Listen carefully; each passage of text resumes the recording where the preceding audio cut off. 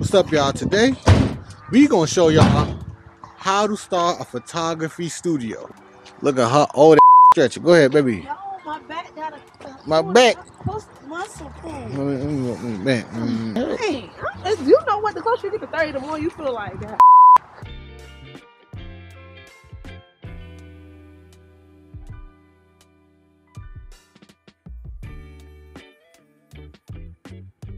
Now it's time to tell you how to start a photography studio. So the first thing you need to do is get some cheap rent. Ain't that right, baby? Yes, sir. Our rent is about $450 a month. That's it for this whole square unit.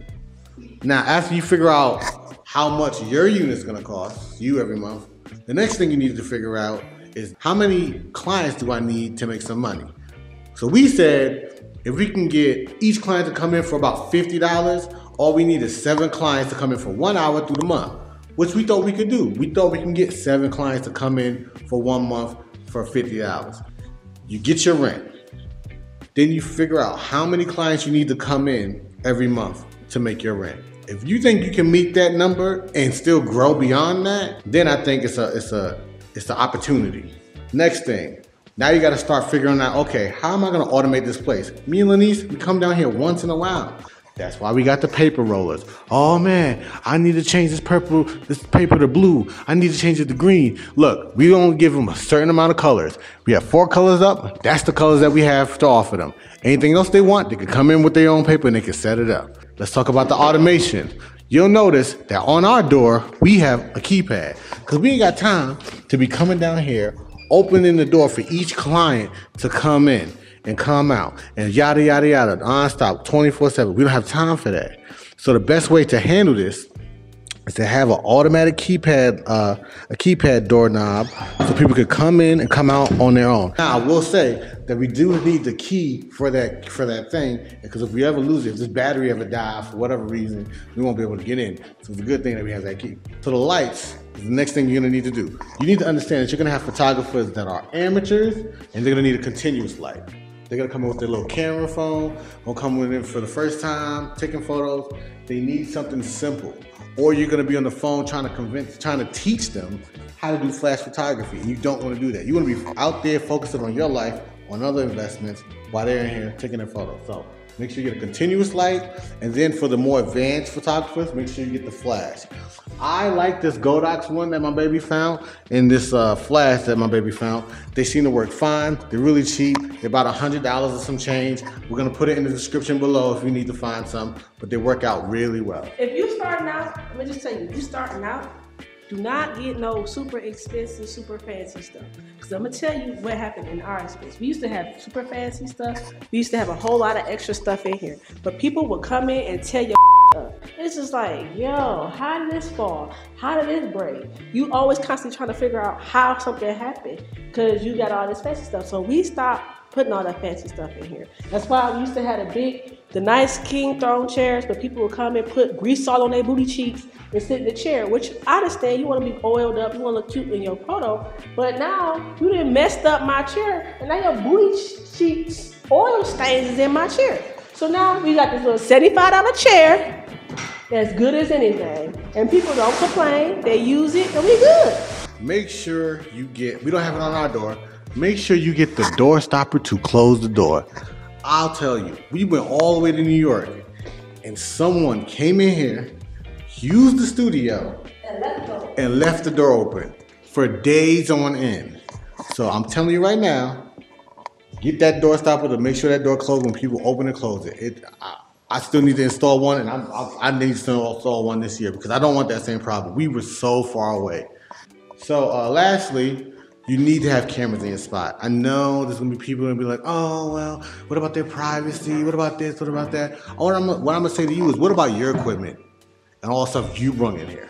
Okay, this is all your equipment. This is all the stuff you bring in here. If people are gonna be in your space and you're not gonna be here, you need to have some some cameras or something. What I recommend are these Wyze cameras. I love them. These Wyze cameras are really cheap. All they do is connect to the internet once you and get your own reliable internet service. We tried to get the free one, and the free one from the building goes in and out, so we don't do that no more. But get the Wyze cameras. We have three in our in our unit. That one, that one, and I'm not showing y'all the last one is. You gotta keep your secrets. But you know these cameras work fine. They have uh, SD cards that you put in them. They record and keep the recordings for about uh, three days. And if you want to pay for their actual service, it's about you know a couple dollars a month, but it'll store online. Also, too, um, make sure you get you some Bluetooth speakers. This is not what I was gonna say, but I thought about this too. Get you some Bluetooth speakers because people got these iPhones on, they don't hook up to nothing. So you make sure you want to get you some nice quality Bluetooth speakers. Also, too, make sure like we in a building where it's like other offices in here. Um, so make sure when you're looking for your studio, I'm not telling you what to do, but one thing I look for when I was looking for a studio is to have really tall ceilings. So our ceilings are pretty tall. Uh, I think these are 14 feet ceilings. So you want to have big tall ceilings because you want sometimes people want to bring the lights up really high, you know, all kind of stuff. Make sure that you're collecting payments through Peerspace. If you're not going to use Peerspace and you're going to collect the money yourself, get Acuity.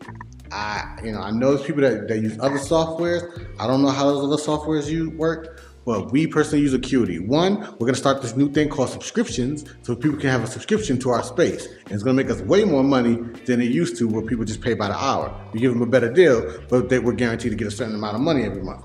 So that's gonna help us pay our rent. But um, having Acuity gives me peace of mind because I could charge people if they stay over, if they leave, and if they try to rob me and take something, I can charge their card. I got the camera, I got their card information stored on Acuity. I'm fine. You know what I mean?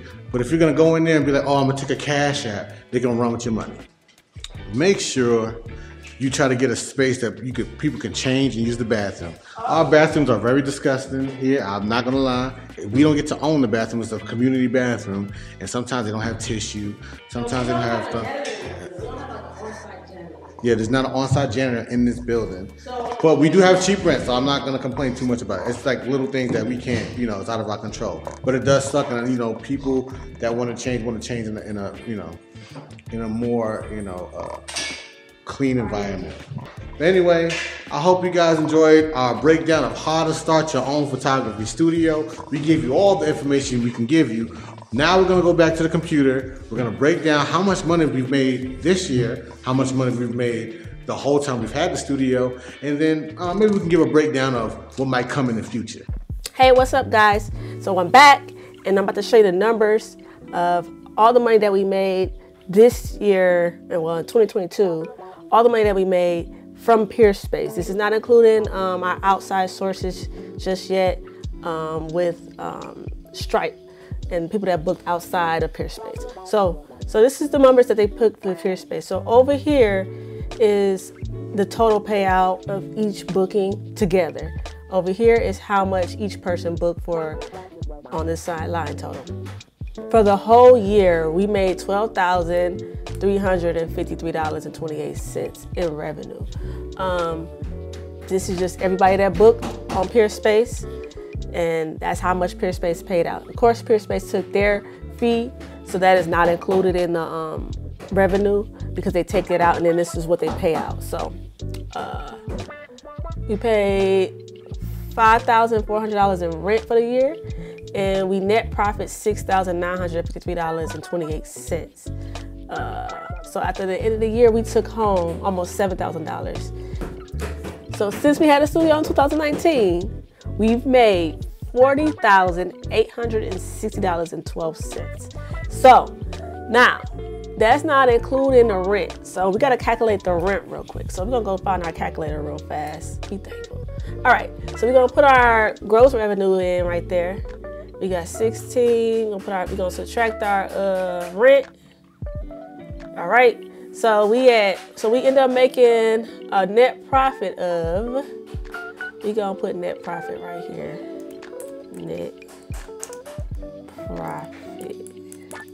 And I used to be real good at keeping up with the um, Peerspace numbers, but I stopped putting them in the chart because I don't know, I just got lazy. All right, we got $24,660.12. So we're gonna put that in here just so y'all can see the numbers.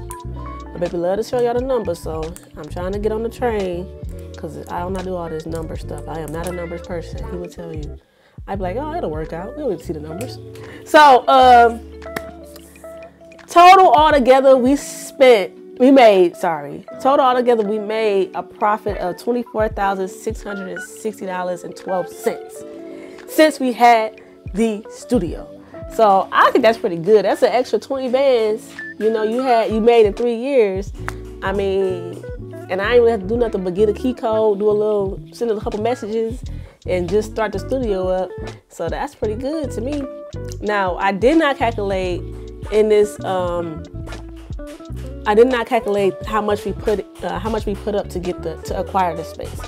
So I think we spent like thirteen hundred dollars to uh, move in, but um, yeah, so that's not in there. But other than that, those are the numbers. Uh, and I hope y'all see see maybe maybe you know owning a studio or a peerspace studio or any kind of studio, maybe a production studio, a music studio or something like that is maybe benefit for you if you see these numbers. I don't know. Uh, to me, it works out for me because it's an extra couple hundred dollars a year that I don't really have to work hard for. So, um, so those are the numbers. Um, so now that you see the numbers, maybe owning the studio may be a good idea for you, maybe not. But um, here are the numbers.